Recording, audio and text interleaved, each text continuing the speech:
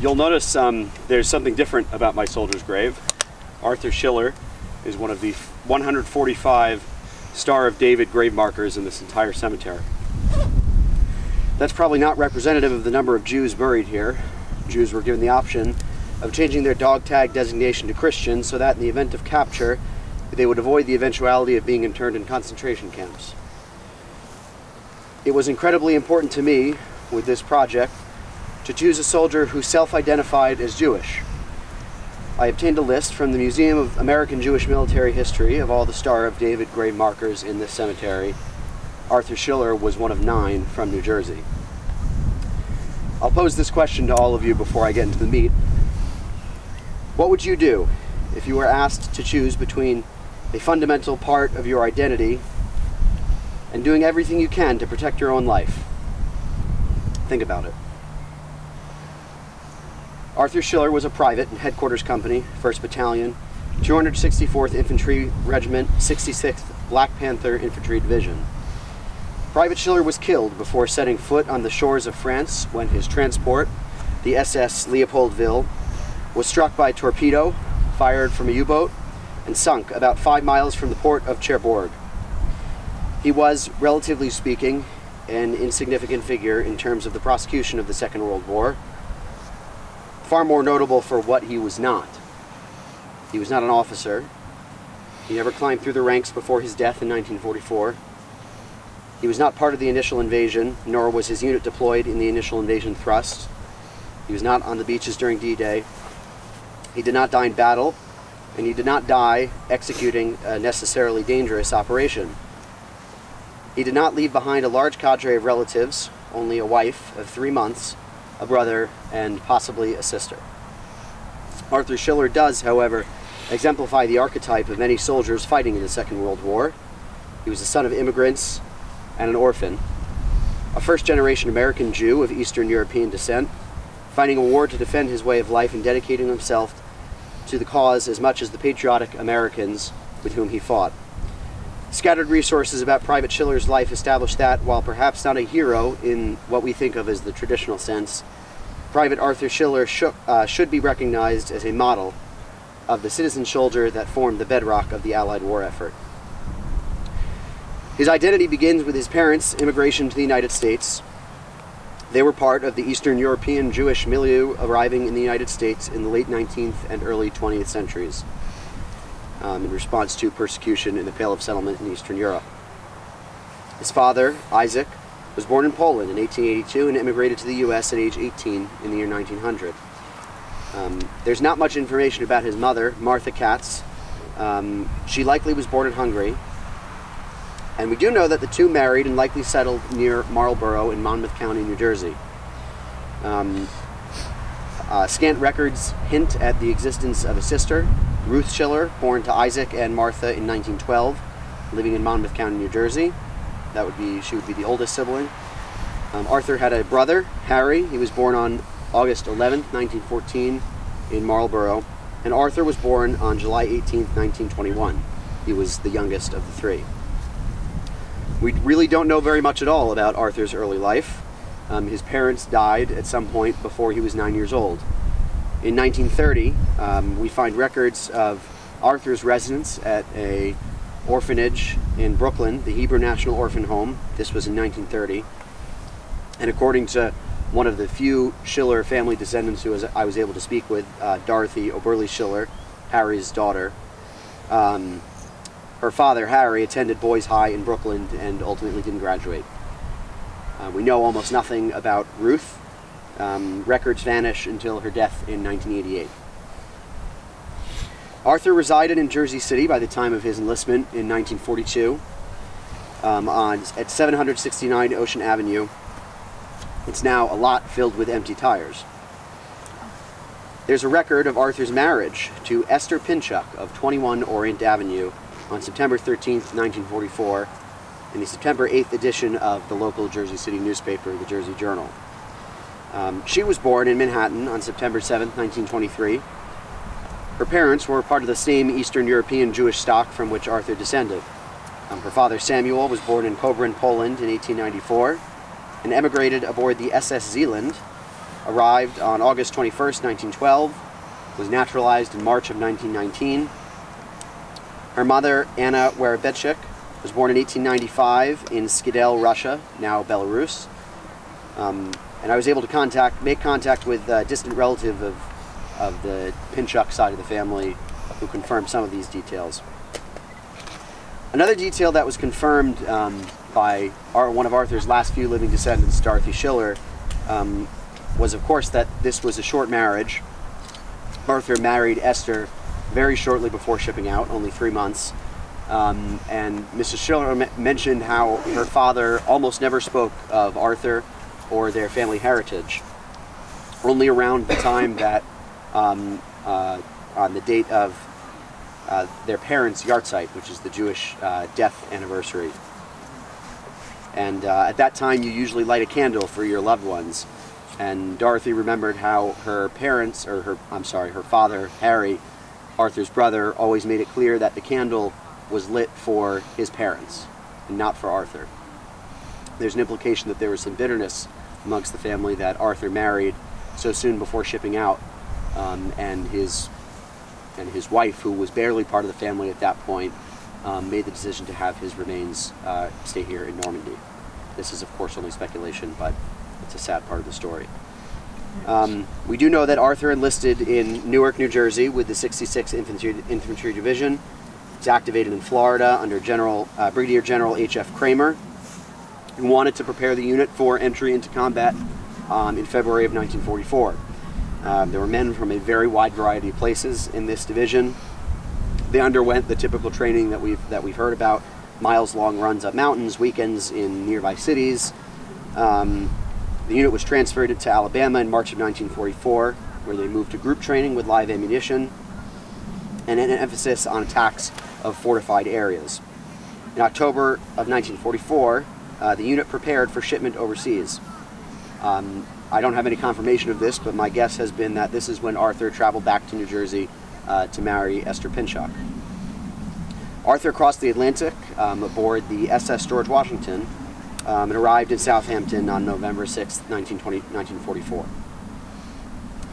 Um, at this point, the 66th um, Infantry Division received word uh, that they were probably going to be preparing to go over to Europe sometime soon. Um, and they ultimately would be carried across the channel by a ship called the SS Leopoldville. It was built in 1929 in Belgium and had been used um, as a troop transport since the end of World War I. Um, transported RAF trainees in the interwar years after World War I, British infantry from Glasgow to Algiers for Operation Torch, and troops through the Mediterranean in Sicily. Um, on D-Day, the Leopoldville was in service, embarked from Tilbury on June 3rd, and eventually anchored at Pont du Ver on June 18th. Um, by Christmas Eve 19, 1944, the Leopoldville had made 24 crossings, carried a total of 53,217 soldiers, um, uh, and while other transport ships had been strafed, shelled, bombed, mined, and torpedoed, the Leopoldville had not even been scratched in almost four years of continued service a very lucky ship. Its luck, unfortunately, would run out soon. Um, Arthur Schiller departed Southampton um, with 2,236 officers and men of the 262nd and Arthur's 264th Infantry Regiments at 9.15 a.m., I'm sorry, 9.15 p.m. on Christmas Eve, 1944. The U-486, a U-boat under the command of First Lieutenant Gerhard Meyer, was on its first war patrol since being commissioned. Um, at around uh, at, at 1754, U-46 fired a salvo of torpedoes at the Leopoldville. The torpedoes struck below the waterline, port side aft. The E, F, and G decks partially collapsed. Um, a sergeant from the 262nd, who was on board the Leopoldville uh, during the disaster, described it as follows. Sometime near 1750, there was a tremendous explosion. I was blown out of the hammock with, uh, with Private First Class Vernon on top of me. At the same time, bits of the ship were flying around. The lights were out and it was very dark. I was in compartment E4. The compartment below us and part of the one I was in were blown to hell. I heard someone yell, the boiler blew up. But I could smell powder, and I knew it was either a torpedo or a mine. Uh, the British ship, the HMS Brilliant, and a U.S. Coast Guard cutter attempted a rescue. Um, at 1930, the personnel were informed that the ship would be towed in support. Um, this is about five miles off the off the port of Cherbourg, so it wouldn't have been very far. But at 2,000, uh, 2,000 hours, the ship listed sharply and began its final descent into the depths of the channel. Many never left the dark waves, including Arthur Schiller. Um, another officer who was on the ship uh, described the unfortunate situation as follows. The Belgian crew, when needed, could not be found. Who was at fault, I know not, yet many lives were lost by those who reached the deck safely after the initial explosion. Over two and one half hours were available to allow the men to be evacuated from the stricken ship, if need be. Everyone, the troop commander included, was of the opinion that we were to be towed to safety. The tug never came. The crew left the ship. No abandoned ship order ever came from the crew. This was remembered as the second worst troop ship disaster of the entire war. A total of 14 officers and 748 men were lost on the Leopoldville. You might have noticed on the wall of the missing that there were many men from the 66th Infantry Division. Most of them likely died during this disaster. Um, there are no details about Arthur's actual death, apart from the fact that he died in the disaster. Um, he likely died of hypothermia or exhaustion, but we're not sure. Survivors were ordered to keep the incident secret. They were threatened with the loss of their GI benefits. It wasn't declassified until the 1990s. Um, a congressman from New York uh, noted in 1996 that the most tragic and troubling part of this story is the American public's general ignorance of the facts. All of us, and particularly the family members of the lost soldier, should be told the full story of their loved one's valiant efforts in the fight to preserve democracy. Arthur's wife, Esther Pinchuk, remarried a few years later after the war ended. And as I haven't been able to make contact with anybody who knew her personally, um, I have no idea if she ever knew the true circumstances surrounding Arthur's death um, before it became public in the mid 1990s. She died in 2010. In a war with roughly 25 million military casualties, some individual actors will inevitably remain anonymous in the collective national conscience. In the case of Arthur Schiller, a unique confluence of events compounded the mystery surrounding his life, his enlistment, and death. He was born to immigrant parents um, who settled in the New York, New Jersey area, the area with the highest density of immigrants of their ilk. His parents died when Arthur was young, leaving him in the care of a Brooklyn orphanage. Married just before deploying to Europe, driving a wedge in his posthumous relationship with his brother Harry, his one remaining relative and one of the few potential carriers of his memory. He was a low ranking soldier in the headquarters company of a regiment that only saw reinforcement action in the closing days of the war. He was killed in a disaster that was censored by the US government for nearly 50 years. Yet his gravesite stands amongst the thousands of men who paid the ultimate price for freedom. Further, amongst the myriad values for which the 66th and every division of the Allied Expeditionary Force fought was the defense of freedom for all peoples, including the European Jewry from which Arthur Schiller descended. His sacrifice, then, though it may not be one of startling heroics or battlefield courage, is one no less meaningful. A son of immigrants who died in defense of the opportunity to which his forebears were entitled the opportunity to escape oppression, the opportunity to begin anew, the quintessentially American opportunity to carve a better future for one's descendants. Private Arthur Schiller's sacrifice enabled untold millions to continue these opportunities in the decades since. The theme thus far has been our lack of knowledge about Arthur Schiller, but I'd like to refocus everyone back to the question that I asked earlier.